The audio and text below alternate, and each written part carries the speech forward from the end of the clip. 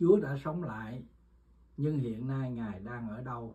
Thánh Kinh đã cho biết Chúa Giêsu đã về trời. Sau khi chịu đau đớn rồi thì trước mặt các sứ đồ, Ngài lấy nhiều chứng cớ tỏ ra mình là sống và hiện đến với các môn đồ trong 40 ngày, phán bảo về nước Đức Chúa Trời. Ngài phán bấy nhiêu lời rồi thì được cất lên trong lúc các người đó nhìn xem Ngài. Có một đám mây tiếp Ngài khuất đi, không thấy nữa. Cho thấy Ngài từ giả thế giới hữu hạn để đến một thế giới vĩnh cửu đời đời, tức là nơi Đức Chúa Trời ngự trị. Hiện nay, Ngài ngồi bên hữu Đức Chúa Cha quan tâm và cầu thai cho chúng ta.